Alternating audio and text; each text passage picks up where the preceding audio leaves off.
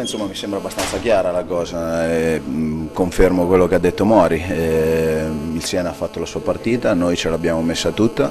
abbiamo fatto un'ottima prestazione come eh, facciamo continuamente anche in allenamento, proviamo sempre a giocare per vincere, abbiamo provato anche oggi, non è voluto entrare, non mi va neanche di soffermarmi sugli episodi, non, non mi interessa, mi interessa la prestazione dei miei ragazzi. Faccio complimenti a loro perché hanno fatto veramente una gran partita sotto tutti i punti di vista.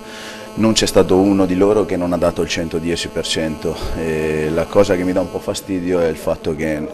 che siano usciti senza neanche un applauso, è una cosa che mi dà fastidio, è una cosa che mi dà noia, è una cosa che non si meritano perché stanno lavorando alla grande, io non so, forse erano abituati a cose diverse qui, non lo so, però eh, oggi i miei ragazzi hanno dato il 110% e si meritavano un grande applauso dallo stadio. Eh, questo non c'è stato, non c'è problema, andiamo avanti, lavoreremo, proveremo a levargli questi applausi dalle mani ai nostri tifosi.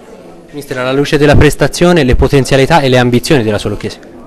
Ma noi siamo ambiziosi, noi siamo una squadra ambiziosa, io sono un allenatore ambizioso, non, non, mi vergogno a dirlo, ho fatto così da calciatore, sono arrivato a giocare a certi livelli perché ero ambizioso, lo sono da allenatore, cerco di trasmettere questo ai ragazzi, eh, cerchiamo di giocare per vincere le partite giocando a calcio e si sogna, i sogni non costano niente, noi lavoriamo tutti i giorni per realizzare il nostro sogno che è stare là davanti.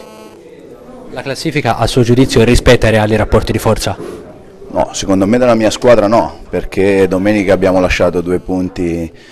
a Macerata, oggi abbiamo lasciato secondo me due punti col Siena e quindi non rispecchia le reali potenzialità di questa squadra, ma nell'arco delle 38 partite alla fine eh, i veri valori vengono fuori, non c'è nessun dubbio, non ho mai pensato che le classifiche alla fine siano classifiche bugiarde, rispecchiano la reale, la reale condizione della squadra.